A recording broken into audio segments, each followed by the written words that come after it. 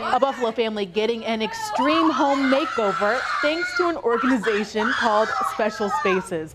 10-year-old D'Angelo Matthews was diagnosed with bone cancer earlier this year. As you can imagine, this has been an extremely hard year for the whole family. So the group Special Spaces went above and beyond giving D'Angelo a bedroom makeover here on Winslow Avenue in the Queen City.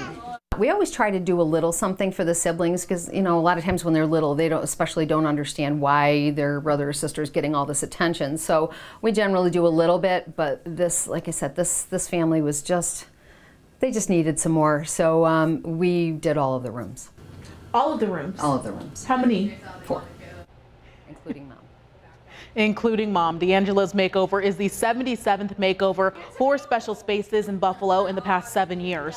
The group's mission is to create dream bedrooms for kids aged 2 to 19 who are living with cancer, brain tumors, or complex heart conditions, even organ transplant recipients.